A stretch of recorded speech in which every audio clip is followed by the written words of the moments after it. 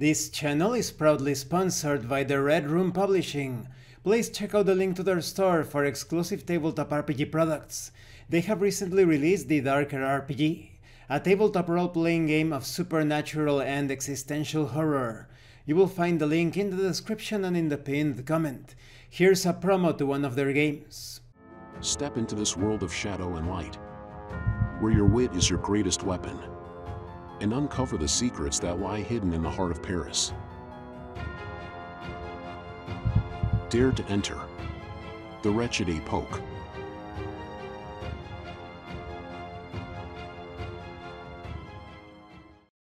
Hi, welcome to this part of my review featuring Terra Arisen. If you haven't seen the other parts of my review, featuring this setting for Traveller 2nd Edition and Cepheus Deluxe, please check out the playlist in the description below. This time we are going to start talking about the aliens, focusing on the Reticulans. The Reticulan Empire and Technate is the oldest and most powerful polity in known space. Reticulans are small, slender humanoids, standing on average 140 centimeters tall. They possess large, bulbous heads, dominated by two large almond-shaped eyes. They have little or no nose, and a small, toothy mouth. All reticulans are biologically female. Each individual lays eggs several times in her life, through parthenogenesis, and each egg produces a reticulan hatchling. This form of reproduction requires no sexual partner and creates less genetic variety than sexual reproduction, though the hatchlings are not the exact clones of their mother. It is interesting to note that some scientific evidence points that in the distant past, the reticulans used to reproduce sexually. The lack of sexual reproduction among reticulans means that all the evolved social constructs and concepts, such as family and love, are totally alien to reticulans. Apart from that, providing medical treatment to reticulans is difficult. Their organs and metabolic processes are significantly more complex than those of humans, and reticulan medical problems often require advanced medical techniques to properly diagnose and handle.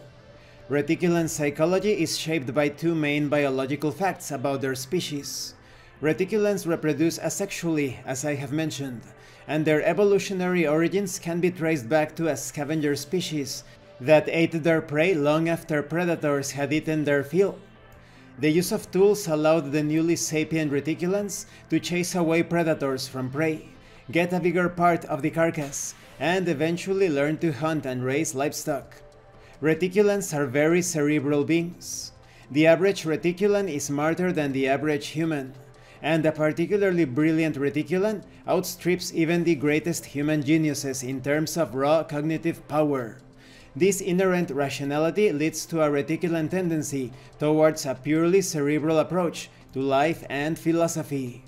Reticulan religions also emphasize the rational. Most reticulans follow one of two faiths, the contemplative way or the worship of the great engineer which, interesting enough, is a male figure.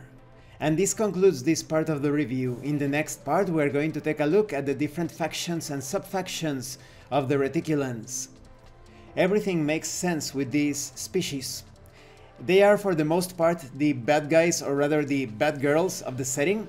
Not all of them, there are some good Reticulans or at the very least a significant population of them that are interested in the advancement of humanity. The only thing that doesn't make sense is that they are so intelligent and yet they have religion, which is not logical or intelligent. Thank you for watching this part of the review. Don't forget to leave a like, a comment and subscribe. And thank you so much to those of you that are going the extra mile to support the channel. If anyone else wishes to further support the channel through PayPal or DriveThruRPG, the information will be in the description and in the pinned comment. This has been Abraham El Jaguar, a professional game master. I am currently unavailable for professional games as I am handling business out of town, but I will put my contact information in the description and in the pinned comment for when I am available again. And remember, it is better to roleplay and fail in character than not to roleplay and fail as a player. Once again, thank you and see you later.